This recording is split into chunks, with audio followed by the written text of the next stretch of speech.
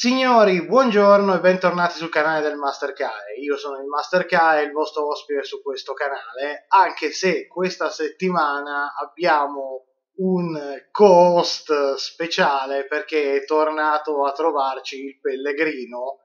Questa settimana avremo un video un po' sui generis perché discutendo su quale fosse più importante per un master tra la preparazione e l'improvvisazione al tavolo, come avete visto al titolo, è accidentalmente praticamente sorto un dibattito e abbiamo preferito registrare il tutto e quindi questa settimana vedrete la versione estesa della discussione che abbiamo avuto tra di noi sul suo podcast, vi lascio tutti i link poi nella descrizione del video, potrete vedere la versione revisionata. Il video di oggi è particolarmente lungo, quindi non vi rubo altro tempo, ci rivediamo alla fine del video.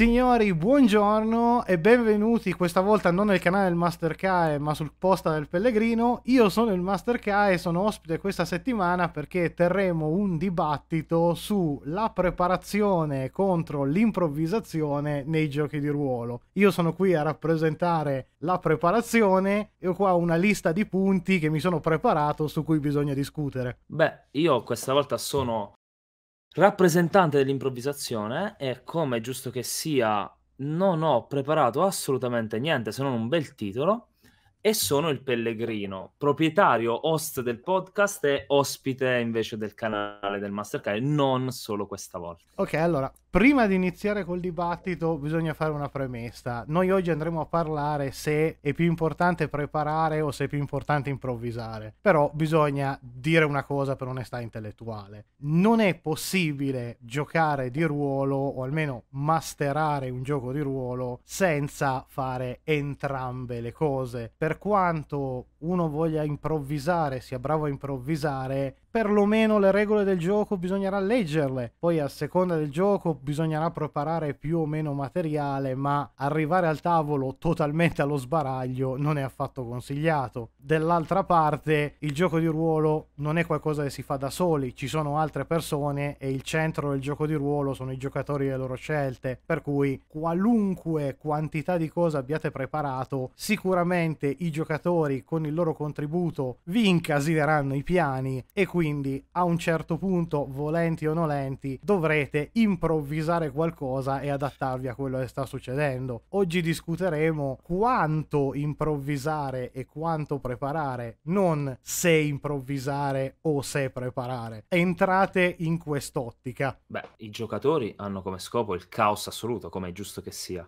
E come diceva il master, ovviamente, entrambe sono caratteristiche, sono abilità, potremmo dire, fondamentali di un master. Ma eh, c'è anche un ulteriore componente per cui questo assunto è ancora più importante. Perché se, come me, ehm, vi piace esplorare più manuali, saprete già che ogni manuale ha il suo grado di preparazione. Un D&D e un Not the End hanno due gradi completamente differenti di preparazione e anche ehm, due importanze diverse nella preparazione, dove se in not the end prepari quanto prepari in D&D, banalmente si rompe il gioco. Facile. È così. Poi, ovviamente, eh, come già detto, tutti i manuali hanno le loro differenze. E qui torniamo al fatto che sono importanti entrambe le skill. E direi che con le premesse abbiamo finito, Master, che dici? Per me va bene, allora inizio io perché sono quello più bello. Sono Mi talmente bello che neanche quelli che vedono il video di questo vedranno il mio volto. E eh, come primo punto a favore per la preparazione, qualcosa che so che piace a metà dei master e l'altra metà dei master la detestano cordialmente, parlando soprattutto di giochi tradizionali, ma non solo, una dei grandi standard e dei grandi classici del gioco di ruolo sono le mappe di combattimento. Tutti prima o poi abbiamo giocato a un gioco con mappe di combattimento, dalle mappe a griglie ultra complesse alla DD a qualcosa di molto più sfumato come gli anelli concentrici di Numenera per indicare la distanza. Ma se voi avete un'idea prima di dove si recheranno i giocatori, avrete la possibilità di realizzare mappe o anche solo andarvi a cercare foto, andarvi a cercare filmati, magari anche preparare degli interi contenuti audio-video da far vedere ai giocatori nel momento e questo taglia un sacco di tempo nelle descrizioni e rende immediatamente comprensibile quello che state dicendo perché letteralmente fate vedere le figure. Se i giocatori sono distratti, se i giocatori magari non capiscono bene i termini tecnici che usate, mostrargli una mappa risolve tutto immediatamente. Ovviamente però più sapete quello che sta per succedere, più tempo e più dettagli avrete per poter inserire la mappa. Ed è qui che mi inserisco io a gamba tesa, altro che mappe, eh, ed è il primo grande pro dell'improvvisazione, comunque eh, di una preponderanza dell'improvvisazione ovvero il lavoro off-game, perché il gioco di ruolo è un grande eh, passatempo quando siamo al tavolo, quindi di, eh, potremmo dire in-game per l'appunto, ma eh, prevede anche della, del lavoro pregresso, anche nei giochi estremamente più eh, scialla dal punto di vista di, eh, impro- di preparazione. Però eh, appunto la, la, preponderanza dell'improvvisazione aiuta a eh, eliminare gran parte del lavoro eh, precedente alla sessione al tavolo e quindi cose come mappe o eh, diciamo schemi, statistiche, eh, qualunque cosa di questo genere viene ridotta all'osso se non eliminata in alcune situazioni, eh, ciò vuol dire che sarà del lavoro che faremo in meno eh, prima della sessione. E nell'epoca di oggi così frenetica, così complessa, con le vite ultra riempite allo stremo che ci ritroviamo a vivere, è un elemento, secondo me, importantissimo, proprio per eh, questo motivo qua. Eh, perché non possiamo ragionare a livello master in particolare, in quei giochi che vedono questa presenza, non possiamo ragionare solo in game, solo del lavoro fatto al tavolo con il gruppo, ma anche eh, dobbiamo necessariamente eh, ragionare anche su tutto ciò che viene prima di questo lavoro e che verrà dopo della sessione al tavolo. E appunto grazie a una massiccia dose di improvvisazione andiamo a eliminare gran parte di questo, di questo lavoro. Insomma, direi che è un gran bel pro per dirla in modo semplice. Ecco. Però a questo punto io ribatto molto facilmente dicendo che il gioco di ruolo per sua natura è una forma di intrattenimento multimediale. Per cui sì, effettivamente uno potrebbe eliminare qualsiasi altra cosa che non sia semplicemente il dialogo tra i membri del tavolo. Però in realtà questo da una parte sminuirebbe il gioco, perché uno dei vantaggi del gioco di ruolo è che voi potete introdurre nel gioco altre forme di media al di là del racconto racconto orale, che è probabilmente la forma più basilare e più antica di intrattenimento. Non vogliamo parlare di mappe? Parliamo di qualcosa di meglio, di quello che piace a tutti, quelli che vengono chiamati gli handout, cioè quelle serie di cazzatine che il master prepara e quando il losco figuro che incontrate alla locanda vi propone la mappa del tesoro, il master vi sta fisicamente porgendo un foglio che probabilmente ha passato con l'accendino per annerirne i bordi, questo l'hanno fatto tutti. E sì, effettivamente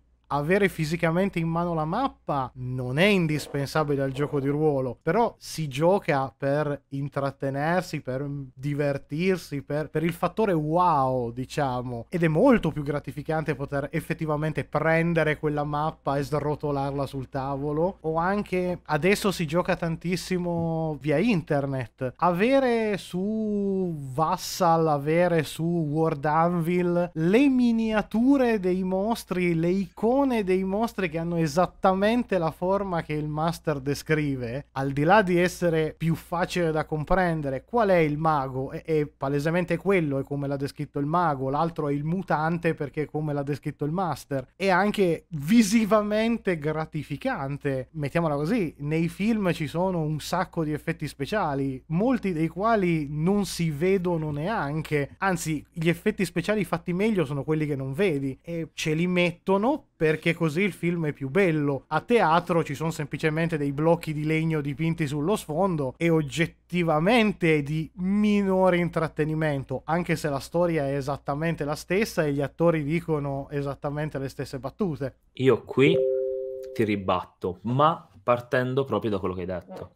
È vero, banalmente, banalmente, è verissimo che un end-out, potremmo dire di quasi ogni tipo, eh, va a creare molta gratificazione al tavolo. Comunque un effetto wow che, che non, non, guasta mai, per carità, per carità. Io stesso in Leggenda dei Cinque Anelli, avendo una katana dietro l'angolo, gioco con la katana al fianco, sempre e comunque, ogni volta che posso.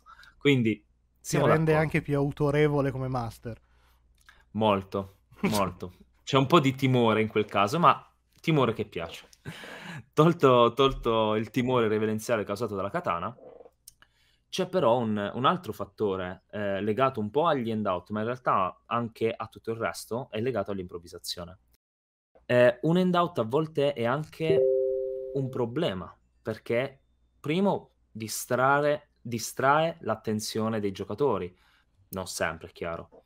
Eh, banalmente, eh, nel momento in cui tiri fuori il tuo bell end-out, diventa quello eh, la cosa più importante al tavolo. Si va a rompere, eh, di nuovo, non sempre, però si va a rompere il teatro della mente dove stanno avvenendo i fatti e si torna al tavolo da gioco con la coscienza, potremmo dire. Detto così sembra qualcosa di quasi spirituale, ma in realtà non è, eh, è semplicemente come, funzioni, come funzioniamo noi a livello di cervello. Ma, e qui arriva l'improvvisazione, dove in questo caso io direi che è anche superiore, la gratif- gratificazione che viene da un bot e risposta, una reazione genuina al tavolo senza interruzione del flusso della narrazione, crea spesso degli effetti wow molto maggiori. Eh, come dicevo, io ho la katana, bella katana fatta bene, tra l'altro del, parlando di cinema, parlando appunto di quella del film L'ultimo samurai, molto carina, banalmente ci piace, insomma.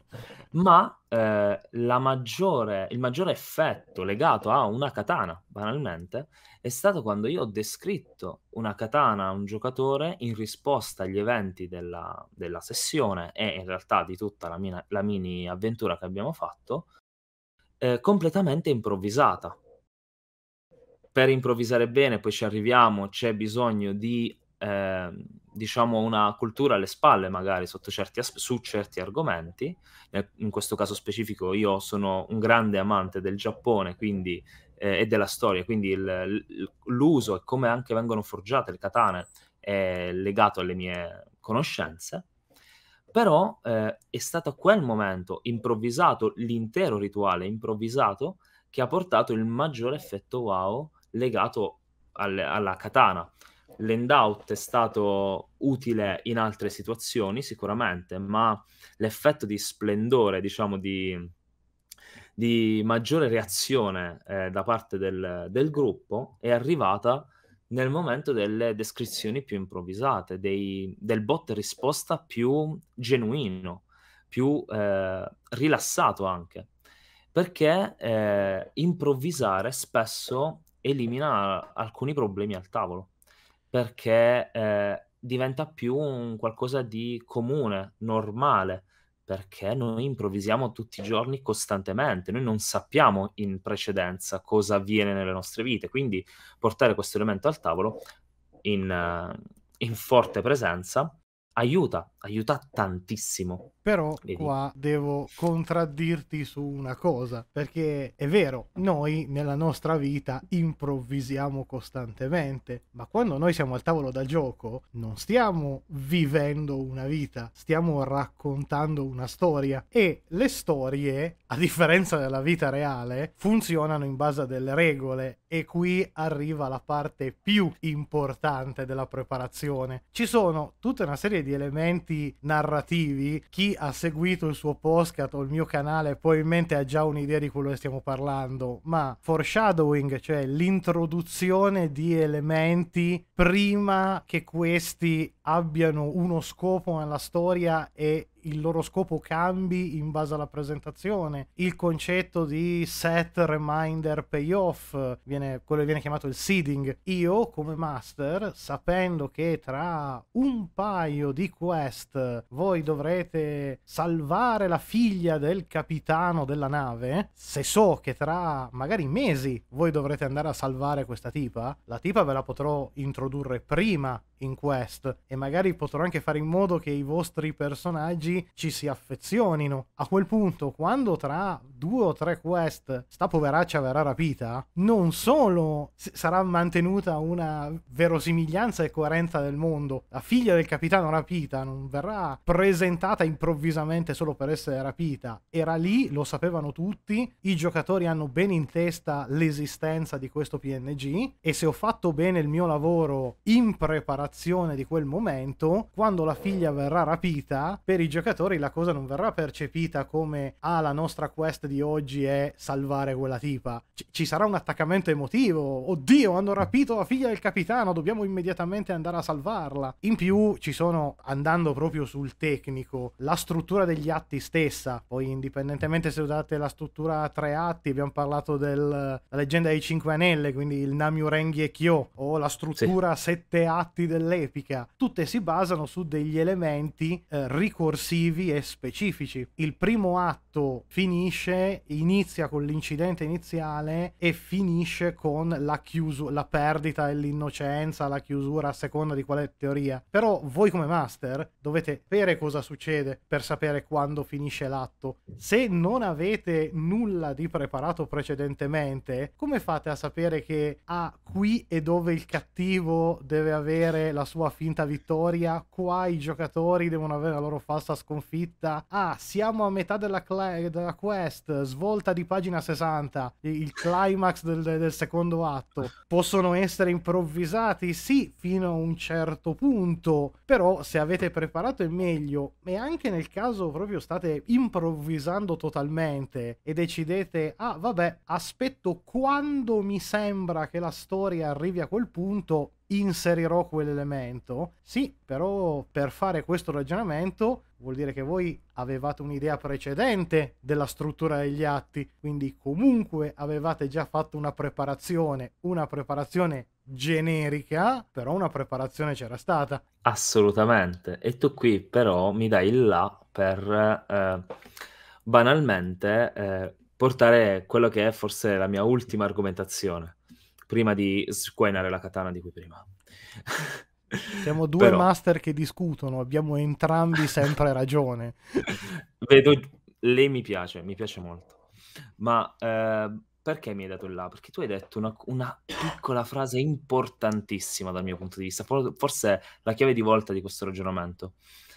Se ho fatto bene il mio lavoro di preparazione. Eh. eh. Questa cosa questa cosa non è affatto scontata, non è affatto scontata.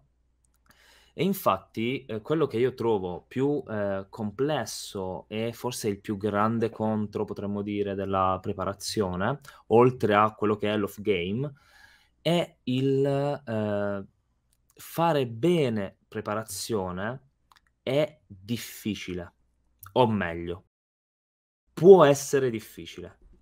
Perché? Perché quando vai a creare tante strutture o tanti handout o qualunque cosa tu vai da a preparare, mettiamola così, ovviamente tornando al discorso di quando è preponderante questa cosa, ecco che, ehm, il tu sarai portato come master a metterla in gioco. A volte, se non fai bene il tuo lavoro, forzando la narrazione, forzando i giocatori.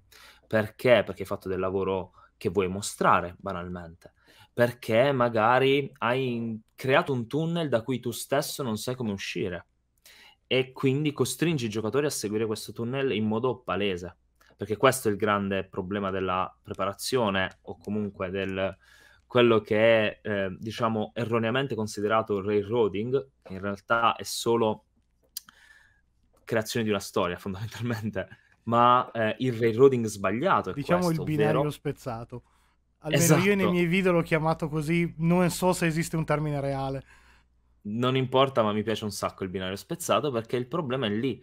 Quando tu palesi quella struttura ai giocatori, con l'erronea preparazione succede spessissimo, eh, ecco che si spezza la magia e si torna ad uscire dal, dal, dal, teatro della mente, dalla storia che stiamo vivendo, dai momenti, diciamo, in gioco e si torna a ricordarci che siamo 4, 5, x persone intorno a un tavolo, che per carità non ci si dimentica mai di essere questo, però il pro in questo senso della, in, dell'improvvisazione è che, come dicevo prima, siamo molto più portati a improvvisare non vuol dire che non si può sbagliare, anzi, eh, anche improvvisando si può andare a creare situazioni che non hanno alcun senso. E questo è un bel problema in un gioco di narrazione. Perché le narrazioni sono sempre sensate, sono una conseguenza logica in realtà, no? Come dicevi prima tu, Master. Qual è però la, diciamo, la chiave di volta di nuovo dell'improvvisazione e preparazione su questo elemento?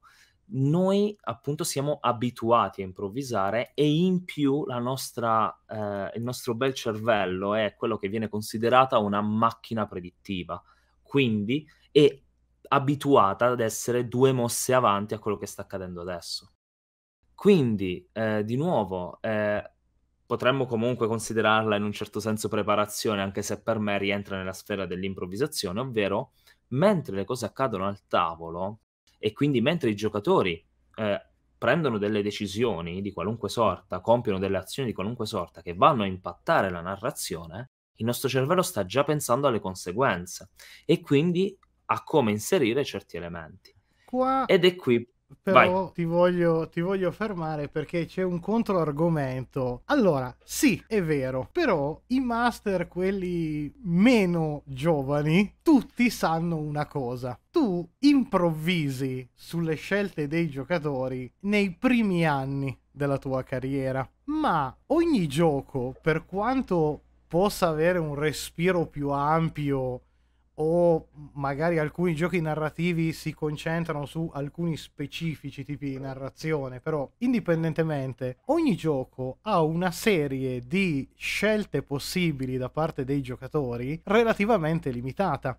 Un, uh, parliamo di me. Io ho giocato al sistema 3.x praticamente per 20 anni. Se io adesso dovessi fare una campagna di 3.x, è veramente improbabile che i miei giocatori possano prendere una decisione che io non ho mai visto precedentemente prendere in tutti i 20 anni. E stiamo parlando di un gioco che ha un focus abbastanza largo. Per cui un master, dopo un tot, sta effettivamente improvvisando o semplicemente avendo già affrontato praticamente tutte le situazioni che possono verificarsi al gioco, sta semplicemente ricordando come ha gestito le cose l'ultima volta e quindi in realtà anche quella è preparazione. E qui io ti controrispondo alla tua controrisposta per un semplice motivo in realtà.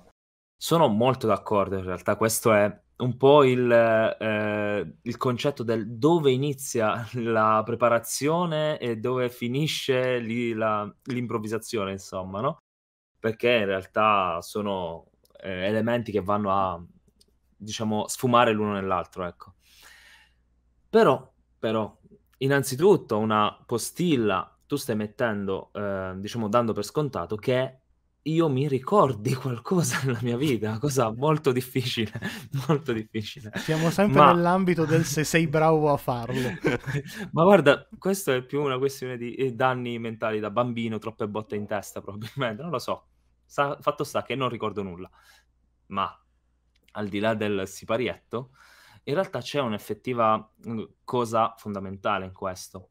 Noi non improvvisiamo nel senso di creare da zero o nel senso di creare da zero in base a una risposta che abbiamo ricevuto. Improvvisare come anche ehm, essere ispirati, avere un'idea. Le idee non sono qualcosa che viene da zero, no? dal, dal nulla cosmico ti scende in testa un'idea. E in questo modo anche l'ispirazione. Eh sì, l'improvvisazione. Cos'è che in realtà facciamo? Noi prendiamo informazioni che già abbiamo dentro di noi, come dicevo prima, io grazie a passione che non è legata al gioco di ruolo, semplicemente amo il Giappone e la sua cultura, mi piace approfondire, sono uno che, a cui piace la storia, quindi mi piace studiare la storia e piace anche l'artigianato e quindi mi piace studiare anche i processi di eh, creazione e produzione di, determinati, di determinati oggetti e quale simbolo maggiore del Giappone se non la katana. E ecco che io avevo quelle informazioni. Quando ho improvvisato mettendole in campo, quindi mettendo in campo una preparazione pregressa, è uscito tutto perfetto, è stata una grande eh, scena per l'appunto. Ed ecco che in questo senso rientra anche il ricordo di eh, giocatori passati. Poi, come appena detto, in realtà l'improvvisazione sfuma nella preparazione, la preparazione sfuma nell'improvvisazione, specialmente quando si ha grande esperienza, che è un po' quello che succede in qualunque aspetto della vita umana, perché esperienza significa conoscere un settore, qualunque esso sia, e di conseguenza essere preparato agli imprevisti però è un essere pronto a improvvisare bene agli imprevisti perché ho già avuto quell'esperienza. E qui è quasi un problema Ma linguistico più che effettivo. Diciamo, se, se, vogliamo metterla proprio come chiosa finale, indipendentemente da se siete più propensi all'improvvisazione, più propensi alla preparazione, in realtà non esiste una scelta corretta, è una questione anche di capacità personali. Ricordatevi però che quelle capacità personali in un modo o nell'altro dovete averla, cioè non potete usare la totalità totale improvvisazione come scusa per coprire il fatto che non sapete quello che state facendo. Al contrario, non potete neanche cercare di preparare nei minimi dettagli solo per evitare di venire colti alla sprovvista anche dalla minima scelta dei giocatori. Prima di poter preparare, prima di poter improvvisare, serve avere comunque una conoscenza sia teorica che pratica del gioco che state conducendo e del gioco di ruolo in generale. Assolutamente.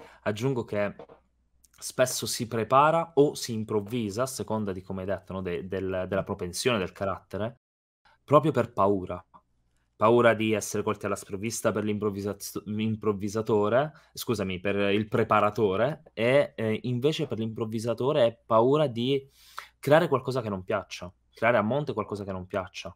E quindi mi butto in mezzo alla, alla insomma, alla, nell'arena con i giocatori e quello che accade accade. E questo è paura. Ma una piccola, un piccola aggiunta, la conoscenza è fondamentale lo studio o comunque la, il sapere eh, condurre il gioco, barra conoscere il gioco in pratica, in teoria, è fondamentale. Ma altrettanto fondamentale è sbattere il muso, è sbagliare, cadere, rialzarti. Perché avere paura dell'errore è un errore a sua volta. e forse uno dei peggiori in realtà, perché ci blocca dal provare. Io non, non avevo mai masterato eh, niente prima di, di en- no, prima di Le notti di Nibiru e lo avevo giocato tipo tre volte, solo che a casa ero l'unico che aveva interesse a, diciamo, studiarlo approfonditamente. L'ho studiato, l'ho masterato, ho cannato completamente la prima campagna, tant'è che è rimasta appesa. Però eh, oggi sono un master migliore, molto migliore di quel, di quel master lì, insomma, ecco. Ecco C'è perché... un adagio che dice che non sarai mai preparato a condurre una campagna come nel momento in cui hai appena finito la campagna. Assolutamente. Non lo conoscevo, me lo segnerò se non me lo dimentico, cosa molto probabile, però molto bello. Bene, dibattito direi piuttosto... Sì, li abbiamo annoiati completo. fin troppo. Ma io mi sono divertito, poi loro possono fare quello che vogliono. Sì, noi in realtà no, no, facciamo vabbè. questi video semplicemente perché ci piace chiacchierare tra di noi ed è un modo per non dover preparare altri video o altri podcast. Cioè. Assolutamente vero. Fun fact: noi dovevamo iniziare a registrare alle due e mezza. Alle due e mezza ci siamo collegati. Abbiamo iniziato a registrare alle 2.45. Alle, alle, sì, ciao, alle 16.45. Ci piace parlare molto. E così io oggi pomeriggio avrei dovuto preparare la quest che mastererò stasera, quindi andrò contro il mio interesse e ammetterò che stasera improvviserò. Bravo, così si fa. Ecco. Ah, ecco, piccola postilla che questa forse, cavolo, mm, la dovevo dire prima, mi è venuto in mente, eh, proprio per dire quanto è importante saper fare entrambi. Ci sono sessioni in cui improvvisare è molto più semplice o eh, necessario, ci sono sessioni di una stessa campagna, quindi stiamo parlando in cui preparare è fondamentale e improvvisare è sconsigliato. Anche questo è da imparare. Bisogna Sapersi imparare... gestire i momenti. Sì.